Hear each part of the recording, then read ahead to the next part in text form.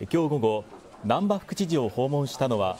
土石流で母親を亡くし被害者の会の会長を務めている瀬下雄二さんと副会長の太田茂さんです。2人は発災当初盛り土の問題を指摘した副知事の発言が80人を超える被害者の会の団結につながったと感謝を述べた上で副知事を退任した後も原因究明と再発防止に向けた協力を求めました。これに対し難波副知事は。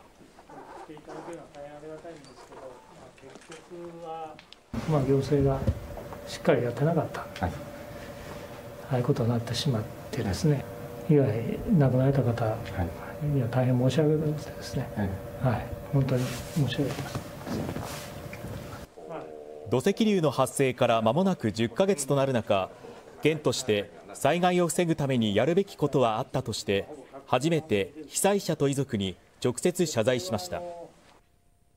まあ、行政の過失にもこうご研究いただいたということで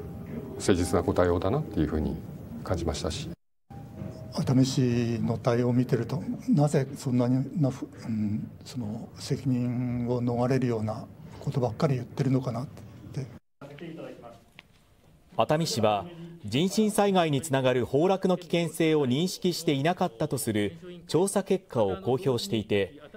県の第三者委員会は市の調査結果も踏まえ行政手続きの問題点について来月中旬までに最終報告書を取りまとめる予定です。